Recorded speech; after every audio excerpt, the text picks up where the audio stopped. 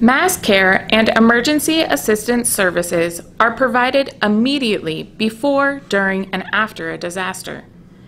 Everyone in the affected disaster area may receive emergency assistance services.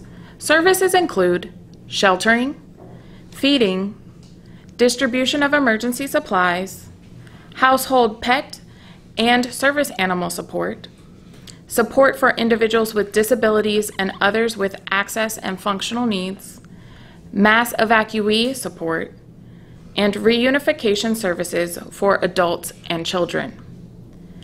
To search for shelters near you, text shelter and your zip code to 43362. For example, text shelter 12345. You may look up shelters anytime through the American Red Cross Shelter Map or by downloading the FEMA app. For more information, visit FEMA.gov. We are FEMA and here to help you before, during, and after disasters.